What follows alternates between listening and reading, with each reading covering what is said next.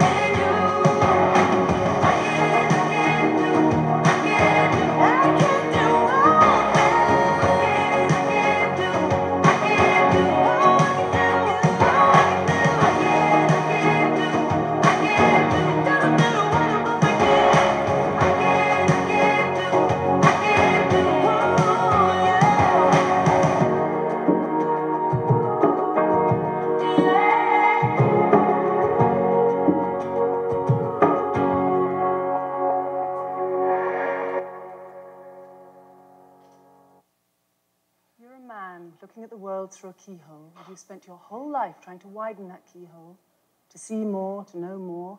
And now, on hearing that it can be widened in ways you can't imagine, you reject the possibility. I reject it because I do not believe in fairy tales about chakras or energy or the power of belief. There is no such thing as spirit. We are made of matter and nothing more. Just another tiny, momentary speck within an indifferent universe. You think too little of yourself. Oh, you think you see through me, do you? Well, you don't. But I see through you.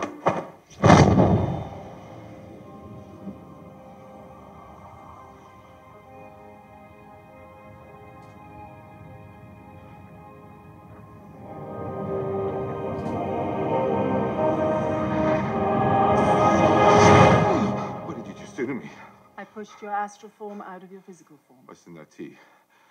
Psilocybin? LSD? It's just tea. With a little honey. What just happened? For a moment, you entered the astral dimension. What? A place where the soul exists apart from the body, Why are you doing this to me? to show you just how much you don't know. Open your eyes. Jesus, let me open your eyes and show you just how much you don't see. 2 Kings 8:17 and Elisha prayed, "O Lord, open his eyes and let him see." The Lord opened the young man's eyes, and when he looked around, he saw the hillside around Elisha was filled with horses and chariots of fire. Let me tell you something. That guy never looked at life again the same. Never.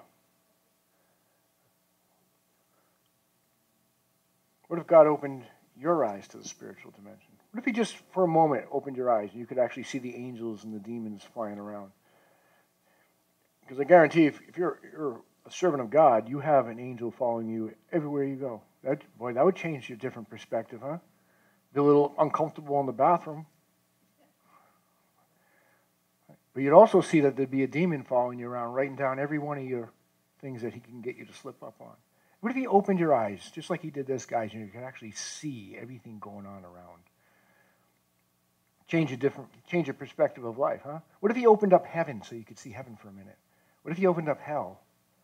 Boy, I tell you, it would change our entire view of life. We'd start living for something entirely new. We cannot make proper judgment or have a realistic point of view if all we see is the physical. And that's why it says in 2 Corinthians here so we fix our eyes not on what is seen, but what is unseen. Why?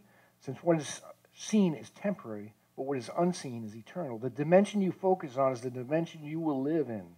We are to see both sides with an understanding that the spiritual is far more important than the physical point of view. Perception, the process by which people translate sensory impressions into a coherent and unified view of the world around them. What if God opened your eyes? Do you desire God to open your eyes?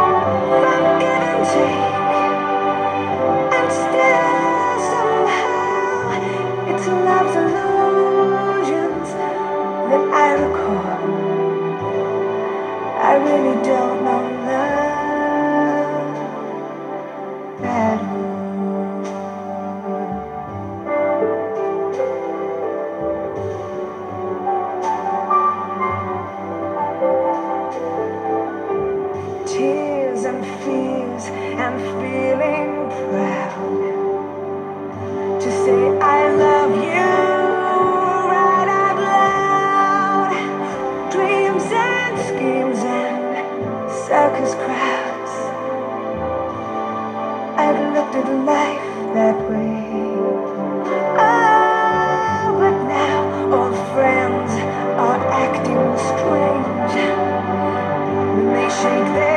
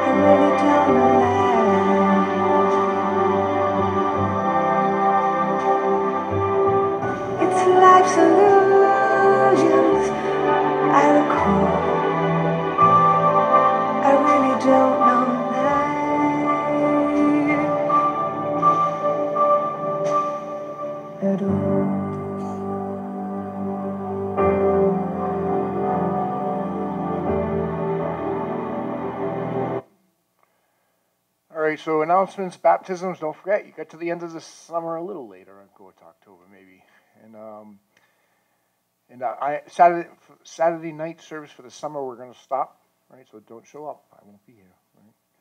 Um, and then I put Spice there because that girl was a former Spice girl. She was a Hollywood. She was in Hollywood, and she actually was a singer and a um, Hollywood actress. And something happened. She got saved.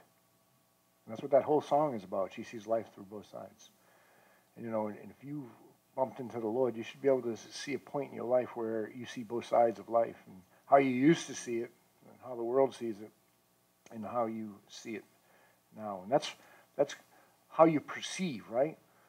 If the doors of perception were cleansed, everything would appear to man as it is, infinite.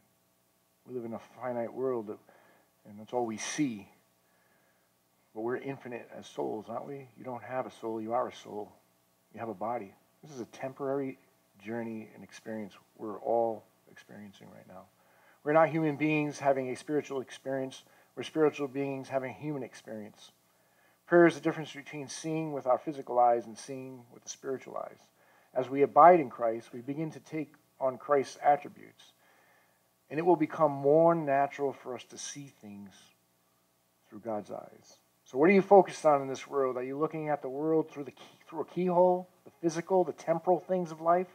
Or are you looking at the world in a way that you could never have imagined, the spiritual, the eternal things of life?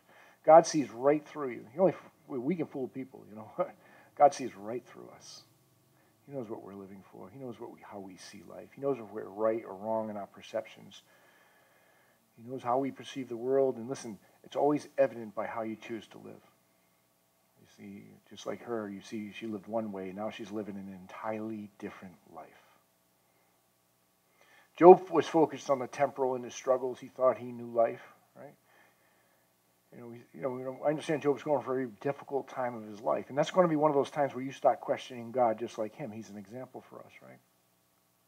And so, what did Job say? He really got to a point where he was. You can almost see he's getting a little angry at God in this position. He says, "If I only knew where to find God, I would go to His court. I would state my case before Him and fill my mouth with. I, I would argue with God for my position because I've, I've been trying to do my best down here.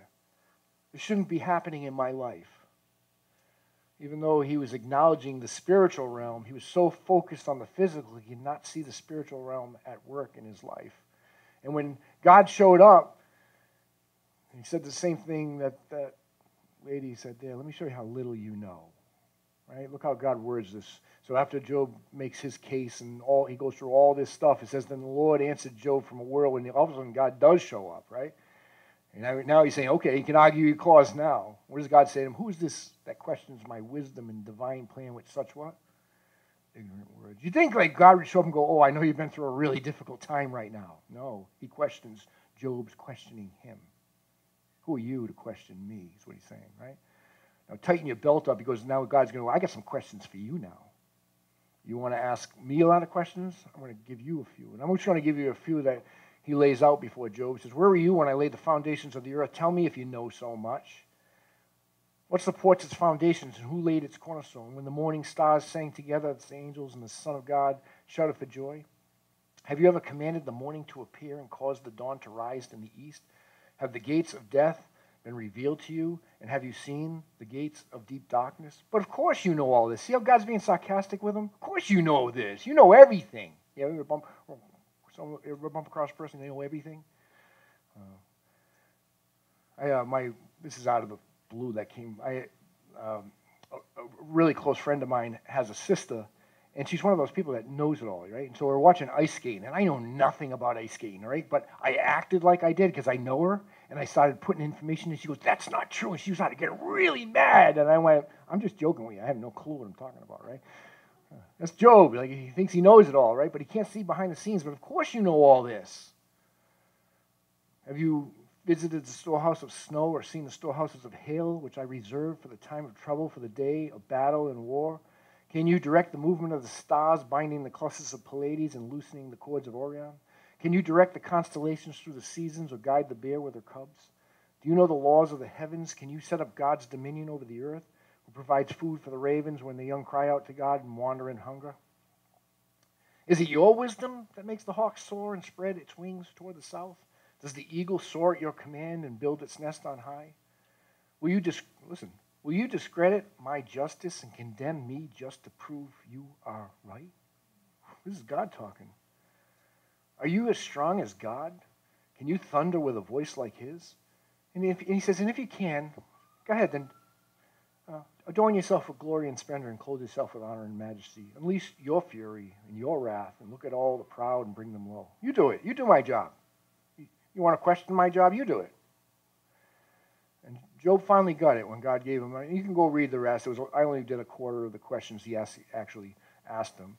And so, but Job woke up, right? He says, what did Job say in Job 42? He says, and Job answered the Lord and said, I know that you can do all things. No purpose of yours can be thwarted. You asked, who is this that questions my wisdom with such ignorance? And he just admits to it. It is I, right? And I was talking about things I knew nothing about, things far too wonderful for me. What did he say? I really don't know life at all. Right? We're so proud. We think, well, you know, because you're a little older, a little more experienced, that we understand life. If God showed up, we'd realize we, how little we actually know, right? Just like Job. Until we understand that without seeing things through God's perspective, we're looking at life through a keyhole, we'll never understand life at all. His words enlighten us to the spiritual realm, right? I mean, that's how we, we've got a little perception. God opens up the scriptures to us, and we get a little bit of a view of the, of the spiritual realm and what's really going on, right? Um, and that's why it says in Psalms 119, 105, your word is a lamp and a guide to my feet and a light to my path. So God gives you the scriptures, and He actually opens up the spiritual realm. That's not, there's something beyond this physical realm, right? And the only way we have that is through the scriptures. We can't see God with our eyes. Job tried that. It says, But if I go to the east, he's not there. If I go to the west, I do not find him. When he's at work in the north, I do not see him. When he turns to the south, I catch no glimpse of him. Even if I could see him, we couldn't behold him, because in Exodus 33 20 says, He further said, You cannot see my face, for mankind shall not see my face and live. So even if you could catch a glimpse of him, it would kill you. The brilliance of his presence would be too much for us.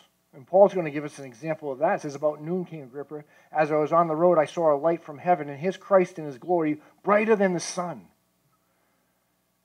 blazing around me and my companions. What, what happened? Because he looked at this light. I was blinded by the intense light.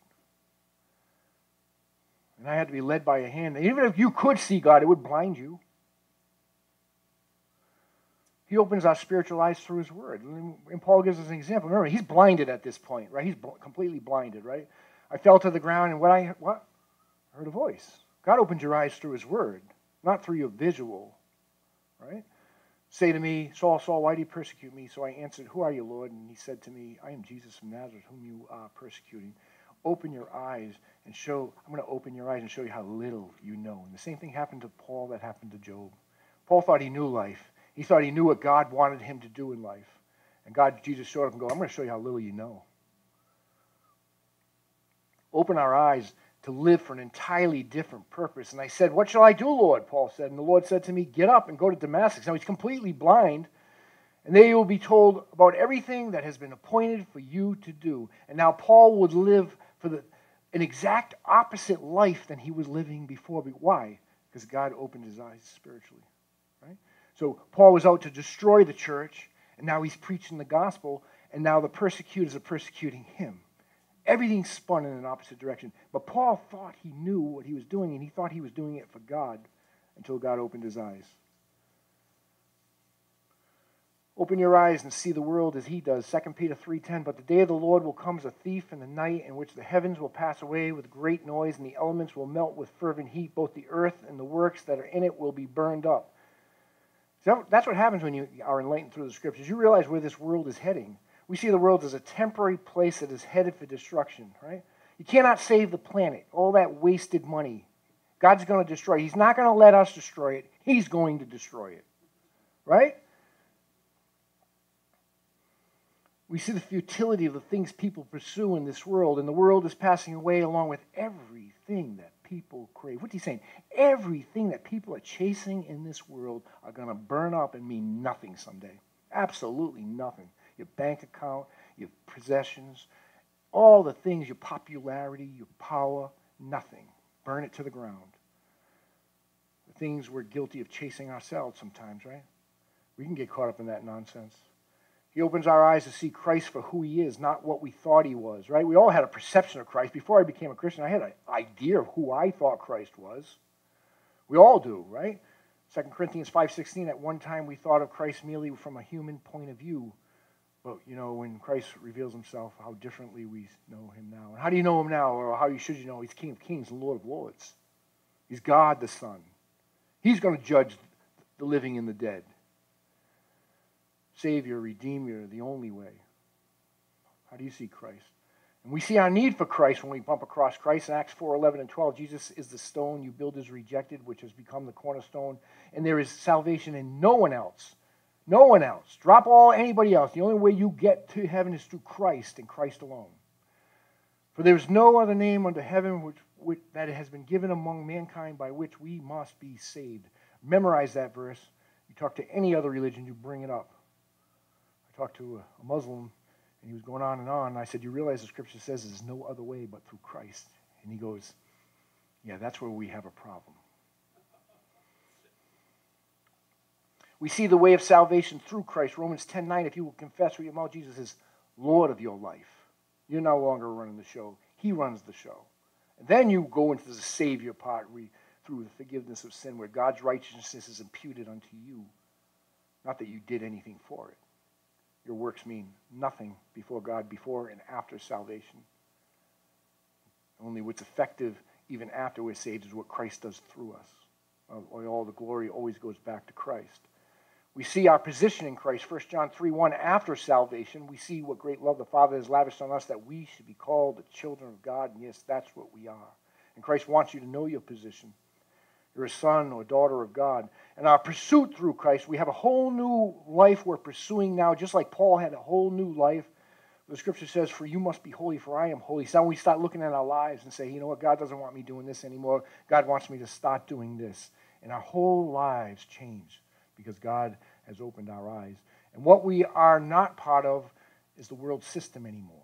Right? We used to be, John 17, 16, they are not of the world, even as I am not of the world. A new identity and a purpose in this world. You are a chosen people, a royal priesthood, a holy nation, a people for God's own possession, and our purpose to proclaim the virtues of Him who called us out of darkness into His marvelous light. Boy, he just wraps up there, and then I ask myself, did I talk to anybody about Christ this week? One person? Did I miss my whole purpose for the week? I love the first part. You're a chosen people, a what? Royal what? Priesthood. We're the priesthood. The priesthood was destroyed in 70 AD, the Jewish priesthood. I'm not sure where the Catholic Church comes up with this stuff.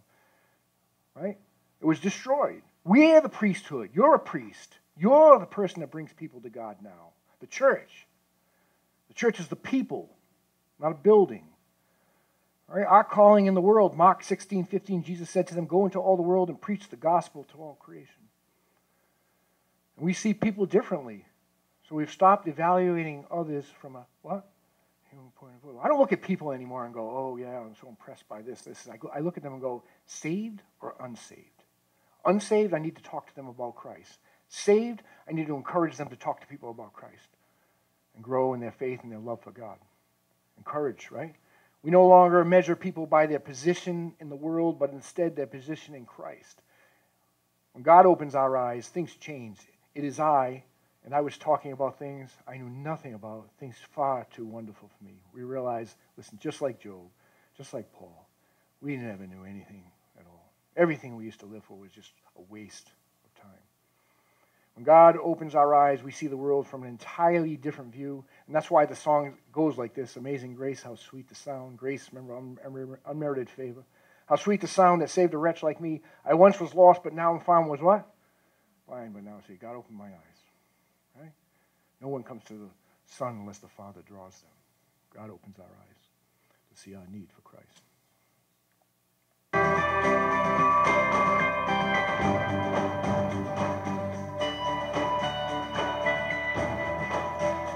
What is a biblical worldview? Uh, first, I say that everybody has a worldview.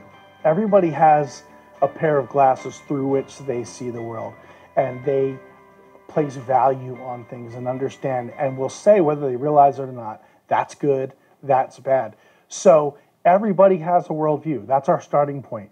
For Christians, they have what we call a biblical worldview. That is, they see the world through the lens of Scripture. They call something bad because God has called it bad. They call something good and acceptable because God has called it good and acceptable. And they have a means by which they can approach our world and make value judgments, not judging people, but the ability to look at something and say, this is wrong and this is right. That's what a biblical worldview is. Unfortunately, a biblical worldview is becoming less and less popular. It's never been popular in culture, but it's even less popular today than I can recall in my lifetime. And so there's a lot of pushback on a biblical worldview. Um, the reality is, though, everybody has a worldview, and we can challenge other people's worldview and ask them, how do you arrive at decisions about what is right and wrong? On what basis do you make that decision? And then they find themselves backing up and saying, yeah, I've got a worldview as well. Everybody has one. Ours happens to be the lens of Scripture. We tend to see the world, we try to see the world, we're asked to see the world the way God does, at least to the degree that He's allowed us to through His Word. Thus the message, both sides now, right? Thus the person singing the song. She was singing that from her heart. She's seen both sides. She's seen the change. She knows what she's living for now what she used to live for. She's seen through the accolades of Hollywood and the love they paint.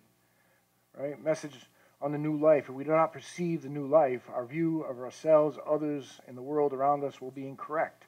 This means that anyone who belongs to Christ has become a new person. The old life is gone, the new life has begun. You get it? Should be extreme. I now live for something entirely new. I live for God.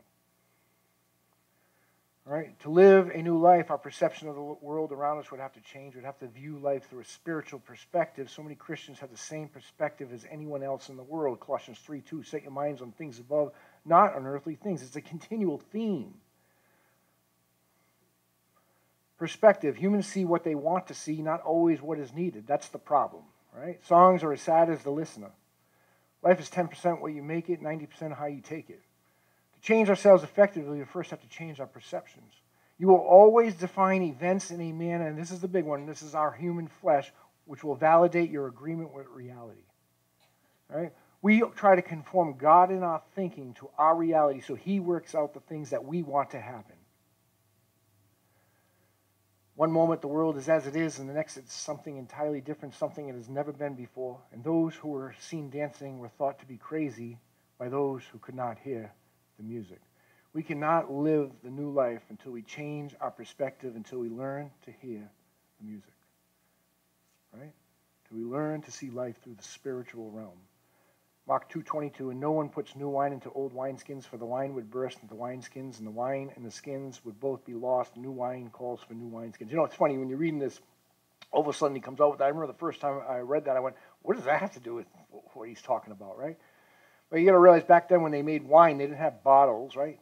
They used leather, right? They would take new wine, they would pour it into the leather, and as the wine fermented, it would expand and expand the leather, and the leather would harden, right? And then when you use the wine up, what Christ was saying, you can't put new wine into that again because when it expands, it'll just explode that wineskin and it'll be absolutely useless. What was his point? I can't give you a spiritual perspective. You're so set in your ways, you're so hardened in your thoughts. Some of us think we know it all. Holy cow, if God showed up with any of us, we'd go, whoa, I realize I don't realize anything at all. He just gives a glimpse of him. We have to always be open to the fact we've never attained it all. Right? Don't become an old wineskin. Be open to God. Nicodemus struggled with the physical and spiritual. And an example of that. This guy's a, one of the top teachers in Israel, right? He couldn't hear the music. John 3 10 and 12, Jesus replied, You are a respected Jewish teacher. He was the top teacher at this time, and yet you don't understand these things? But if you don't believe me when I tell you about earthly things, how can you possibly believe if I tell you heavenly things? Your mind is so closed, I can't even open up spiritual. People get do that. They get caught up in religions, and God can't open their mind to the truth of His Word. We just shut down. He start. He, that's where he was. He was caught up in the Jewish religion here. Christ is trying to teach him a whole new way. He struggled to see life through both sides.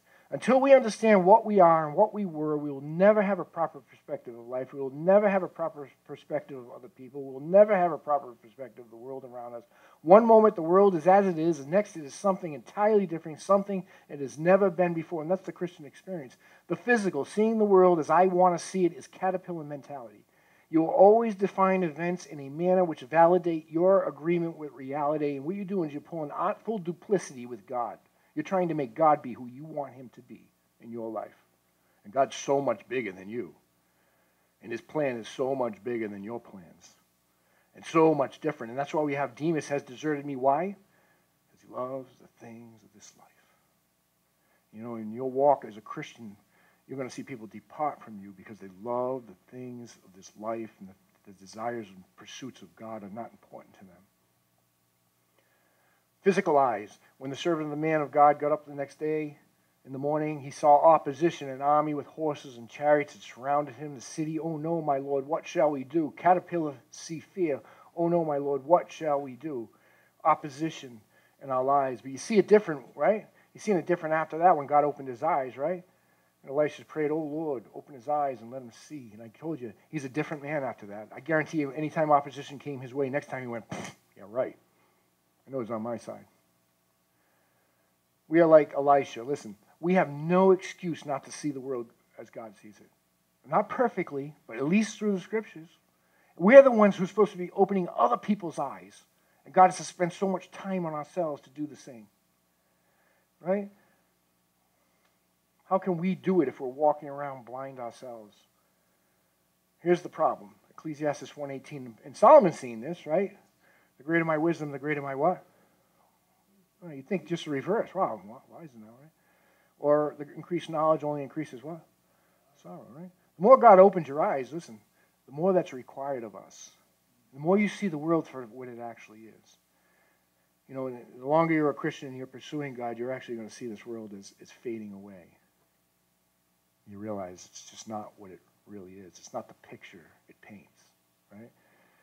Luke 12, 48, but someone who does not know and when and then does something wrong, he'll be punished only lightly. When someone has been given much, much will be required in return. And when someone knows more, more will be required. And when God gives you more, more is required. Of you. It becomes more and more of a labor in this life. It's no longer about Ferris wheels and dancing. All right? The less life becomes about my wants and desires, the more it's about Christ. Philippians 3.8. Yes, everything else is worthless when compared with the infinite value of knowing Christ Jesus my Lord. For his sake, I've discarded everything else, counting it all garbage so that I could gain Christ. See, some that's why I tell you, I always said this. You want an easy life as a Christian? Don't tell anybody about Christ. Just go about your life. Go to work, go to the gym, do your thing. Don't get serious about God. Your life will be a lot easier. The more you invest in Christ, the more your life is going to become difficult. Guaranteed. Read the scriptures. All right? How we view things is dependent upon the, how we choose to visualize with the spirit of the flesh. For the flesh desires what is contrary to the spirit, and the spirit what is contrary to the flesh. They're in conflict with each other, so you're not to do whatever you want. Christians can be guilty of seeing life through the flesh because their desires are carnal. They want God to do what they want them to do. They choose to look at life through a keyhole and hope it all goes the way they want. The flesh can prevent us from seeing spiritually, even wanting to see spiritually.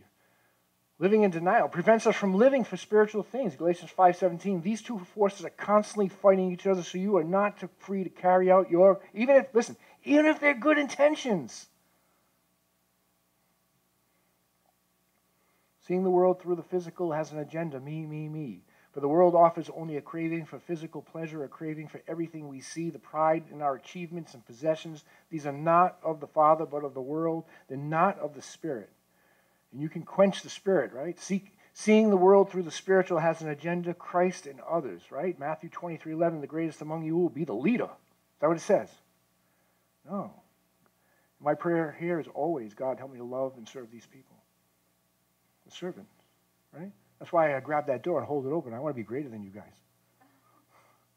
You get it? Imagine if we all had that attitude. What a world it would be, huh? What a difference we would have. What an impact. If I actually thought being a servant was great. Right? The physical draws attention to ourselves while the spiritual draws attention to others. The flesh does not please God my way. Romans 8 8, those who are in the realm of the flesh cannot please God, right? Cain wanted to bring God what he wanted him to bring. No, no, reverse that. Cain wanted to bring God what Cain wanted to bring instead of what God wanted him to bring, right? That's, that's Abel, right? The Spirit pleases God, for the kingdom of God is not a matter of eating and drinking. It's not about the things everybody else is chasing, the big parties and all that stuff. I went to a party at the beginning of the year. It was a New Year's party, and I got there, and it was so dry and boring. I'm going, oh, good, I have a church service tonight. I at least can get out of here. Not one saved person, not one spiritual conversation. I was sitting there going, oh. Right? Those things aren't significant to me. Not that I can't carry some of it, but it gets boring to me after a while. None of which is appealing to the flesh. Listen, if you serve Christ with this attitude, you will please God, but those things that please God are not appealing to our flesh. They're not. I'm being honest with you, it's not. Doesn't sound desirable at all. Doesn't sound like I'll be happy if I live righteously in peace and joy in the Holy Spirit. Flesh draws attention to itself. I'm, I'm now trying to win the approval of human beings or God. That's a question we all have to ask. If I'm trying to please people, if I were still trying to please people, I would not be a servant of Christ. That's why God says, listen, you put me first, and I'll make those people like you. Right? We said that. So you know what? Even he says, I'll even make your enemies at peace with you. Right? The people that go, oh, I hate that person, but there is something about them I like. I don't know why. They're just growing on me for some reason. You don't have to please people. You please God. God says, I'll take care of the people. Right? The Spirit draws attention to God, 1 Corinthians 10.31. So whether you eat or drink or whatever you do, find a way to use it for God. And let it be public. Let it be public. So then, how do we watch and play sports to the glory of God? 1 Corinthians 10:31 whether you eat or drink whatever you do so whether you eat or drink or play sports or watch sports how do you do that to the glory of God particularly in a culture that idolizes sports in so many ways Now, Jesus is better than anything that we could ever hope. Even better than a Super Bowl, better than an NFL career. Is the NFL coach supposed to say that? That anything is better than the Super Bowl? Don't Jesus, yeah. Am I really disrespecting this guy by saying, you know, Jesus Christ? You know, one thing the Bible says is, you know, you, def- you deny me in front of your friends, I'll deny you in front of my Father. whether he wants to promote me or humble me uh, that his that is in his hands you know i don't think god cares about a certain game or race or performance but he does care, care about the condition of our heart What goes into a streak to get you to the level you've been at over these last 12 games? What goes into that, Kevin? Thank God. That's all I can say. Jesus Christ. You got it right. Who do you play for? Who do you live for? Is that your testimony? People walk up to you and say, "Hey, that was really awesome." Do you go, "Oh, thank, thank God," or do you go, "Hey, thanks"? Do you use it for God's glory, or do you take it and, and, absorb it yourself? Are you ple- pleasing people, or are you trying to please God? See, those things that gives us the answers, right? Right. Glorify Him. Listen, He'll glorify you. Let love, loyalty, faithfulness, and truth never leave you. Bind them around your neck. Write them on the tablets of your heart. Then you'll find favor with God and people, and you will earn a good reputation. What do you, want your reputation to be? All right? How do I view life? Is my perception correct? What is real? What is an illusion? Illusion, a thing that is like that it is or is likely to be wrongly perceived or interpreted by the senses. In my view of the world, is my view of the world focused on me? Am I seeing only the physical? If my perception of myself and the world around me is wrong, if I was designed for something greater, if I'm looking at life through a keyhole, what I am as a Christian is I'm a butterfly living like a caterpillar. Right? You're never going to fly. You're never going to be what God designed you to be. Crawl your whole life. Psalms 19:8, the, the precepts of the Lord are right, giving joy to the heart. The commands of the Lord are radiant, giving light to the eyes. Would I ever feel satisfied in this life if I'm living for less? Solomon gave us an example of that, right? And here's a guy that says God loves Solomon. That said that says that in the scriptures. And he's going through his life, and he says, "I don't know what it is. I just don't feel happy. I mean, I got everything. Why? Why am I not happy?" So he starts searching different areas of his life, and he goes into wisdom. And we live in a, a society where we work, wisdom's way above higher. I mean, education, right? Way higher than than God, right? So he looks into wisdom, and he was the wisest that ever lived. So everything he's looking at in these these things he's looking at, he's above everybody else in it. Even to this day, nobody's matched this guy. Um, partying, he actually got to the point where he said, "You know what? Those guys at the bar, they look like they're having a good time. We're gonna go try that out for a while." Work. I mean, I think Solomon's porches is still one of the seven wonders of the world. Wealth. Nobody's attained his wealth to this day. Women, uh, he had a thousand wives. Power, he's probably ruled the world at that time. I mean, what do you, what do you say? It's when he started at the end of examining all those things, it's, it's vanity. I don't feel any happier. I don't feel any happier. You know, we always think of if I, if this would just happen in my life, I'd be happy, right? That's what he, he was. That's exactly what he was going through in his mind. Right?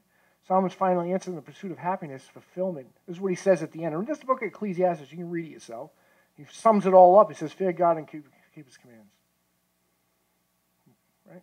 That's that's the best thing I've found in all my search. In Matthew 22, 36. And then we have to ask, well, okay, well, teacher, which is the greatest commandment, right? That's what the Jews were asking uh, Jesus, right? And what did he say? He said, love God. Matthew 22, 37. Jesus replied, you must love the Lord your God with all your heart, with all your soul, with all your mind. You want to know the greatest pursuit of your life? Right there. What's the second one? The second is like it, love your neighbor as yourself. You want to find fulfillment in life? You can't do one without the other, right? If someone says, I love God, but hates a Christian brother or sister, as a person's a liar. If we don't love people we can see, how can we love God whom we cannot see? Yeah, proof's always in the pudding, right? So how do I love God? Well, Christ told us that. If you love me, obey my commands. If you love me, it will be proved in your life. You'll live for me. Live for the spiritual instead of the physical. Both sides now. The songwriter analyzing their view of life. I've looked at life through both sides now. Moons and Junes and Ferris wheels, the dizzy dancing way you feel. We've all felt that one time or another, right? And thought that was the pursuit. If I was just here, if I had this perfect relationship, right? I've looked at love that way. We all have. But I never dreamed of arguments, or never dreamed of divorce. I never dreamed a relationship would be hard. I never dreamed the feeling could go away. I never dreamed somebody would break my heart. I never dreamed somebody would die. I never dreamed of love that way. Boy, reality and time changes our perceptions, doesn't it? God gave me a new life with a new view of love. It's not about feeling. Love never gives up. It always trusts. It always hopeful. It always perseveres. That's a test of true love, right? It has nothing to do with feelings. You can't do those things based on feelings. Why relationships fail is because people base it on feelings instead of doing what is right.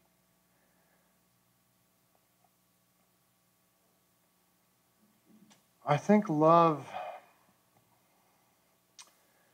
is well, I think the feeling of love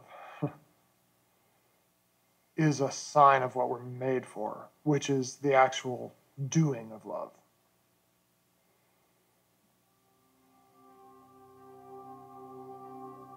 The feeling of of longing for someone, of intently caring for someone is actually not the thing itself. It's it's a sign of something that we're made to do, which is to give ourselves um, to to others and ultimately to God.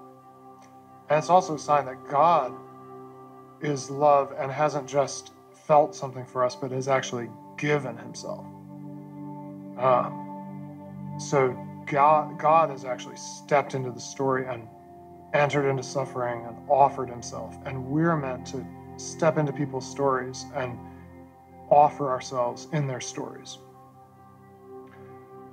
Um, you know, the feeling of love is,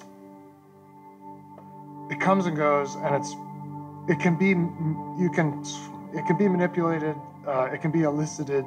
Uh, but the doing of love is much more impressive. um, when my friend David was dying of cancer, and I was in his room, and his brother and his wife were helping him just with some very, very fundamental bodily needs that all bodies have, that most of us, when we're healthy, can take care of for, for ourselves. And they, they gave me the gift in a way of, of staying in the room while they helped David with just one of these bodily needs. Uh, and, and to see a brother and a wife loving a human being that way. Not, I don't know what they were feeling other than awkwardness, but what they were doing was love. And when we feel that, I think it, it's, it's a clue you're made for this level of giving to, to others. Uh, and someone has given themselves that much for you, uh, has entered that deeply into your reality. uh, has done that much for you. I think that's what love is actually about. Help me understand love is an action in spite of how I feel. But I tell you, love your enemies and pray for those who persecute you. How could that possibly be done if it's based on an emotion?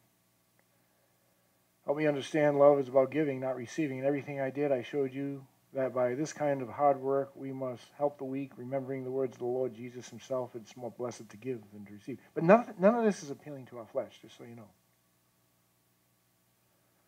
Help me understand that love is a sacrifice of myself for others. We know love by this, that he laid down his life for us, and we ought to lay down our lives for each other, right, brethren?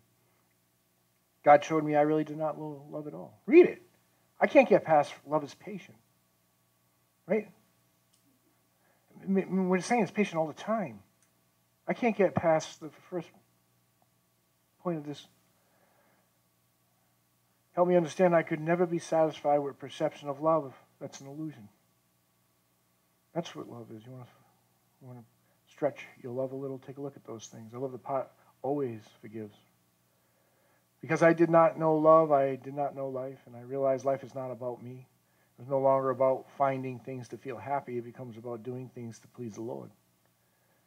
When I understand love, when my perception changed, when I started looking at the world in a way I'd never imagined, my life changed. And that ye put on a new man or woman, which is after God created. What are you saying?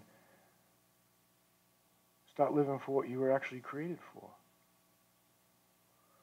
And when I changed, this is what happens.